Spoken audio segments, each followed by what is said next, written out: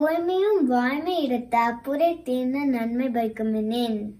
நம்ம சொல்ல பொய்னால பெருசா ஒரு நல்லது நடக்க போகுதுன்னா நம்ம போய் சொல்லலாம்னு வள்ளுவர் தாத்தா சொல்லியிருக்காரு.